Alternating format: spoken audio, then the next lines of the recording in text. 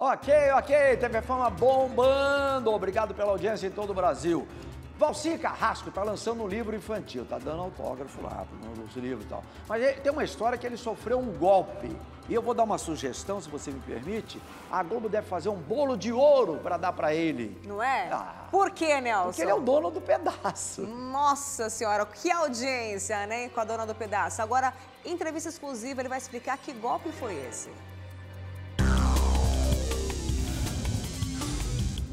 Ele não para.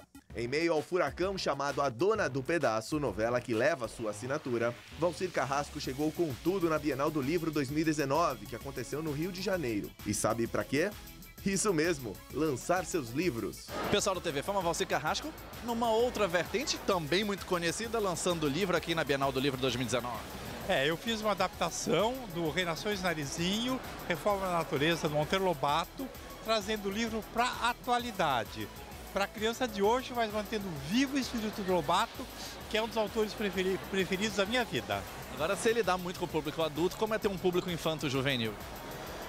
Olha, eu já escrevi mais de 60 livros infantis juvenis, entre eles muitas adaptações. Eu gosto de trabalhar com esse público.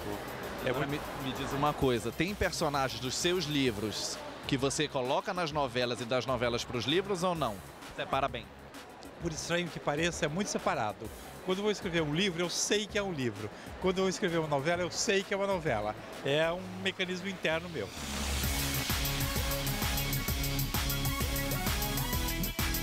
E já que o assunto é novela, como será que Valcir se sente com algumas críticas que a dona do pedaço vem tendo por parte dos telespectadores? Isso porque muitos, por exemplo, não aguentam mais o que chamam de as burrices de Maria da Paz. Novela, você está satisfeito com o que está acontecendo nesse momento? Olha, eu adoro fazer novela também, assim como adoro escrever livros. É... Então, eu estou satisfeito. Eu acho que a Maria da Paz, a Vivi, se tornaram personagens vivos para as pessoas. A Dona do Pedaço é uma novela que acontece. Não tem que esconder mais nada. Ele vai voltar e ele vai viver aqui comigo.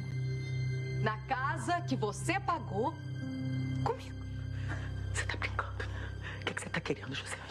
Há poucos dias, através de suas redes sociais, Valcir Carrasco pediu ajuda sobre um golpista que estaria tentando fazer compras indevidas com seus dados pessoais. Eu estou sendo vítima de um golpe. Vários bancos já me ligaram porque alguém está tentando financiar um carro em meu nome, mas eu não estou financiando o carro. Alguém pegou meu CPF, não sei o que mais, está tentando financiar carro, não sei o que mais tentando, tentando aprontar.